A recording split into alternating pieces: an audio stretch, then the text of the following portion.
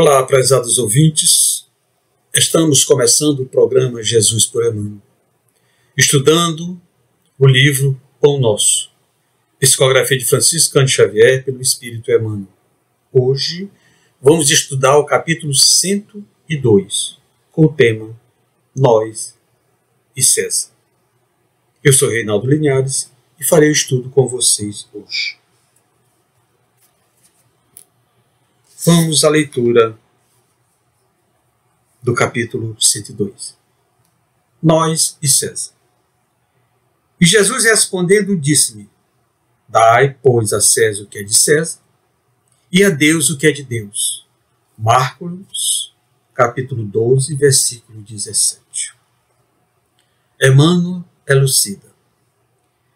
Em todos os lugares do mundo, o homem encontrará sempre de acordo com seus próprios merecimentos a figura de César, simbolizado no governo estatal. Maus homens, sem dúvida, produzirão maus estadistas. Coletividades ociosas e indiferentes receberão administrações desorganizadas. De qualquer modo, a influência de César cercará a criatura, reclamando-lhe a execução dos compromissos materiais é imprescindível dar-lhe o que lhe pertence. O aprendiz do Evangelho não deve invocar princípios religiosos ou idealismo individual para eximir-se dessas obrigações.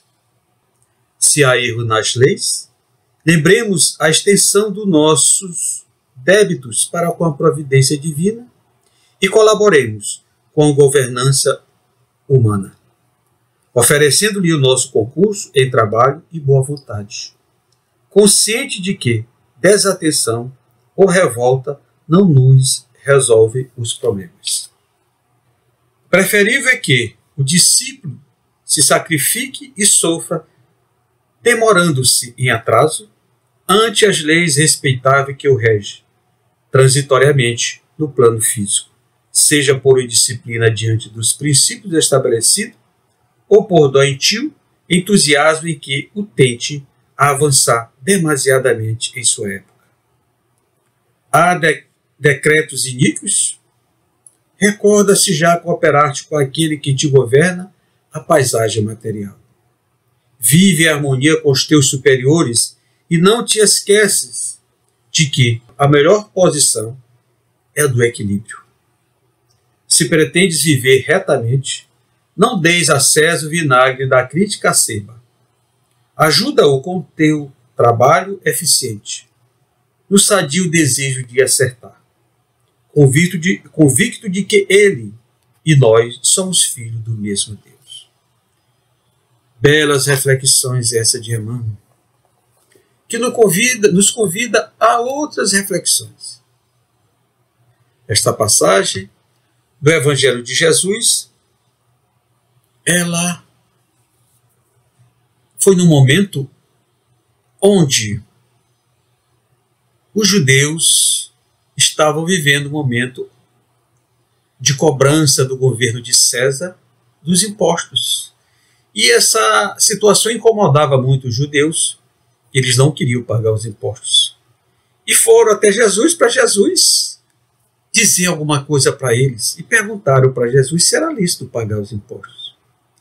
Jesus pediu uma moeda e perguntou de quem era aquela imagem. E eles disseram que era de César. E aí Jesus, com muita sabedoria, disse: Dá a César o que é de César e a Deus o que é de Deus. Então, dá a César o que é de César e a Deus o que é de Deus. E Emmanuel elucida com muita clareza, nos chamando a atenção para as nossas responsabilidades. Emmanuel compara César aos governantes da terra, as pessoas que têm mandato político, governo estatal. Ele nos diz que os nossos governantes são aqueles que merecemos. Temos o governante que merecemos. É verdade isso? Com certeza é verdade. Nós temos os governantes que merecemos e os governantes que precisamos em nosso país, nós os elegemos. São eleitos por nós, pela maioria que votam e colocam no poder esses governantes. Portanto, os nossos governantes, nós temos afinidade com eles. Nossas afinidades nos levaram a eleger esses políticos. Mas perguntando, que afinidade tem? Se eu nem conheço esse político. Ah. Em algum momento esse político falou alguma coisa, ou fez alguma coisa, ou a sua imagem nos atraiu. Afinidade é isso, atração. Nos atraiu. Às vezes até um amigo, um companheiro, um conhecido que chega e nos pede um voto para um determinado político. E aí nós embalamos naquela amizade, que é uma afinidade, nós nos relacionamos com quem temos afinidade. As pessoas que nós não temos afinidade, nós nos afastamos. E isso nos leva a essa lei de atração, de afinidade. Esse merecimento também tem a ver com o nosso estado evolutivo. Vivemos num mundo de provas e expiação onde o mal ainda predomina. Portanto, somos imperfeitos e temos governantes imperfeitos. O governo só é exercido por pessoas imperfeitas como nós, que erram e acertam. Nós erramos e acertamos.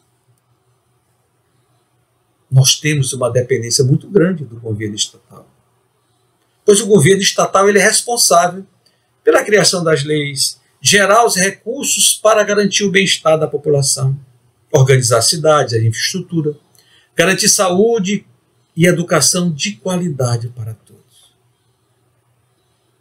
Isso acontece? Está acontecendo? É uma verdade? Nem sempre. Mas nós não podemos dizer que os governos só fazem coisas erradas. Nós não podemos dizer que os governantes só erram. Assim como nós, nós não só erramos, nós erramos e acertamos, erramos e acertamos. Nós estamos num campo de aprendizado. Nós, aprendizes do Evangelho, aqueles que se colocam como seguidores do Cristo, que buscam em Jesus o seu exemplo, o seu modelo, nós devemos nos eximir das nossas obrigações, das nossas responsabilidades, com esses Césares que estão aí, esses Césares que governam foram eleitos por nós. Nós indicamos eles, colocamos eles no poder, achando que eles podiam nos representar. Mas só basta isso? Simplesmente colocar eles no poder?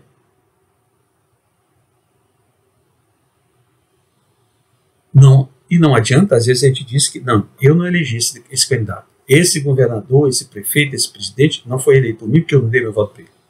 Mas em algum momento da nossa vida nós demos voto para um César desse que está no poder.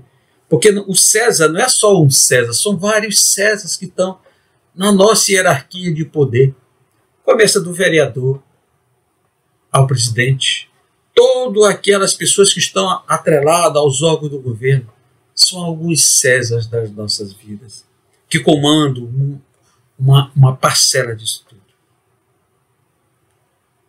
Portanto, se há erros das leis, meus, meus irmãos, lembramos dos nossos erros, dos nossos débitos com a previdência divina, com a providência divina. E nós devemos colaborar com a governança humana, com os governos. Como podemos colaborar? Oferecendo o nosso trabalho, a nossa boa vontade. Trabalhando em benefício da coletividade. Nós temos que ter consciência que a desatenção, a revolta não vai resolver o problema. Não adianta eu lavar as minhas mãos, dizer que eu não tenho nada a ver com esse governo, que o que ele faz não me interessa. Não adianta eu me revoltar contra ele, que também não vai resolver. Não vai resolver. Simplesmente, em alguns momentos, eu vou dar uma de Pilates, lavar minhas mãos. Em alguns momentos, eu vou fazer o papel daquele acusador que acusa, mas não ajuda. As leis são imperfeitas, nós sabemos, as leis muitas das vezes, a grande maioria não nos agradam, principalmente quando vem de encontro aos nossos interesses. Porque são feitos por homens imperfeitos, mas nós também somos imperfeitos. Jesus não disse para não julgar. Com a mesma intensidade que julgamos, seremos julgados. Portanto, é um ponto que a gente precisa refletir. Por que, que eu julgo tanto? se nos revoltarmos contra os, os Césares, os governantes, vai resolver o problema? Creio que não. O que podemos fazer para ajudar esses governos? Qual é o nosso papel na construção desse mundo, na transformação desse mundo?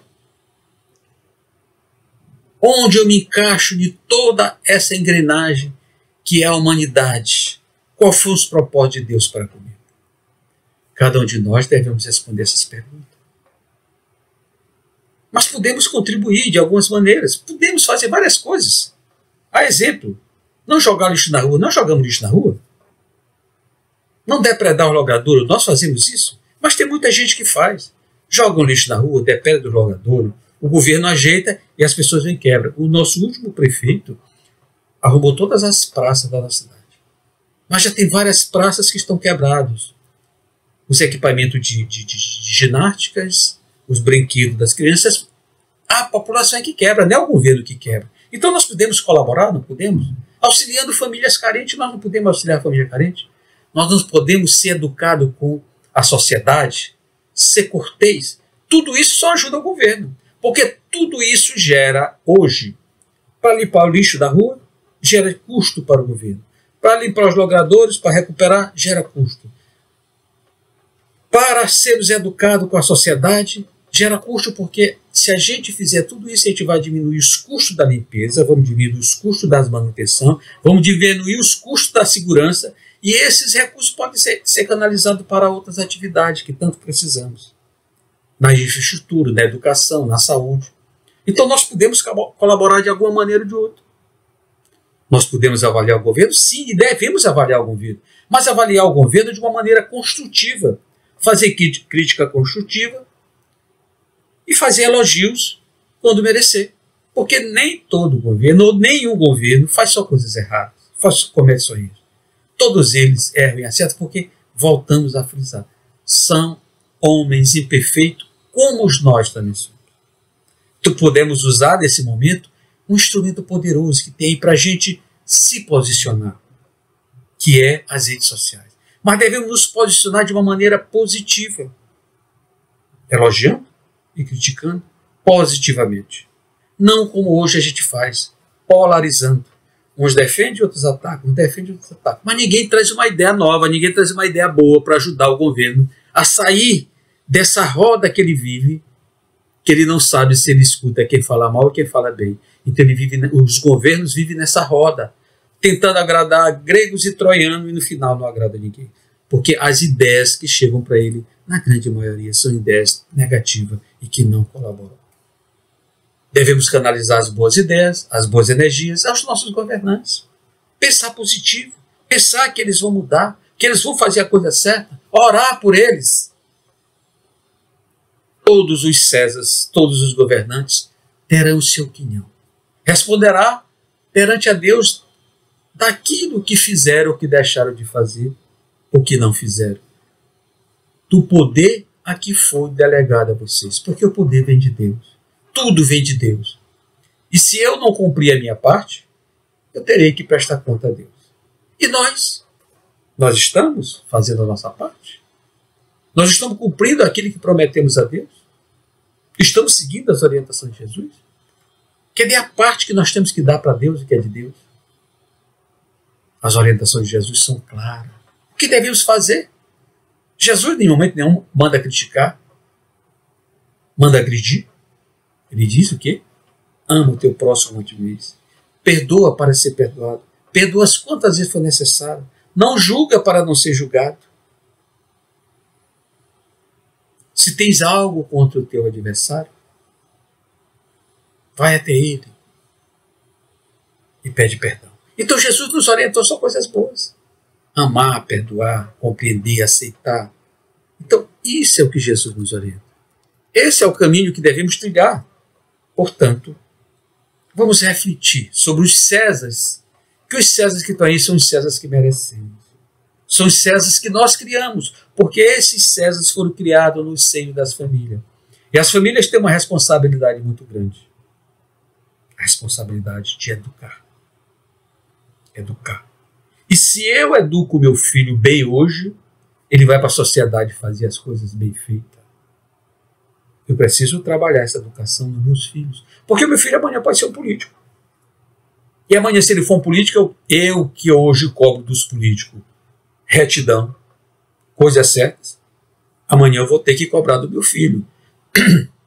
Mas se eu não dei a ele o apoio moral, a educação que ele precisava, para ele chegar na sociedade, cumprir o seu papel de cidadão, vai continuar do mesmo jeito. Portanto, nós devemos começar a preparar os nossos Césares para que ele tenha o quinhão dele e ele devolva para nós. Nós vamos dar para ele o que ele precisa para ele devolver para nós o que necessitamos. Portanto, dai a César o que é de César e a Deus o que é de Deus. E nesse momento, eu convido todos a refletir sobre isso e dar mais a Deus do que estamos dando. Talvez estamos dando muito pouco a Deus. E Deus não exige nada que não podemos cumprir. Muita paz a todos. Essa foi minha contribuição para o Divulgar Ponto Norte.